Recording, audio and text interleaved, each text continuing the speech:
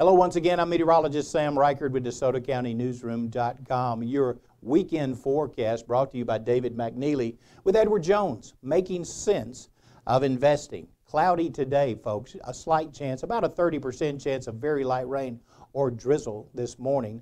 High temperature today 58, low 47. Winds from the northwest 5 to 10 miles per hour today. Tomorrow, a cloudy day it looks like. High temperature 65, low temperature 50. And then on Sunday, partly cloudy skies. High temperature near 70, low 48. Normal high this time of year 71, so we'll, we'll be close to normal this Sunday for the first time in several days. I'm Sam Rikard. Have a great weekend.